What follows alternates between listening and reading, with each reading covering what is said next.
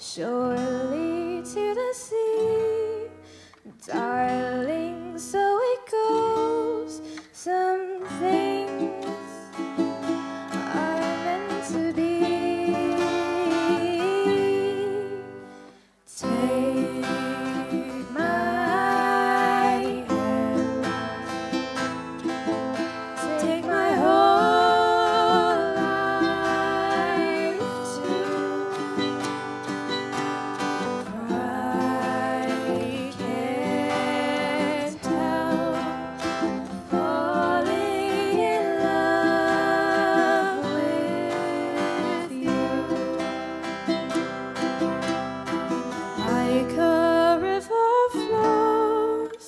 Surely to the sea, darling, so it goes.